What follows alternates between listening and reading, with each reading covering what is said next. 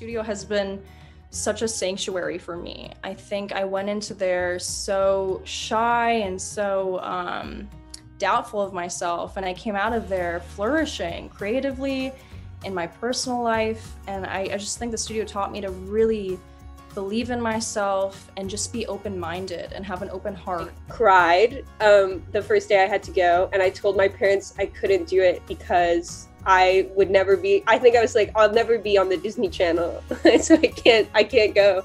But once I got there, everyone was so nice to me. It was such a welcoming community, and like the first place, I really felt like at home. I was a pretty shy kid, and the Young Actors Studio was kind of my way that I was able to come out of my shell because it gave me a place to just you know, not be afraid to be myself and say what was on my mind.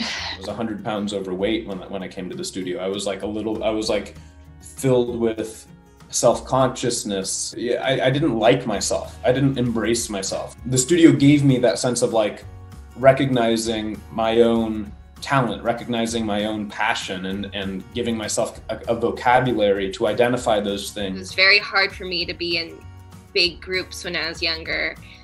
But the studio made it so that you could be a part of a collective while still feeling your freedom of individuality and space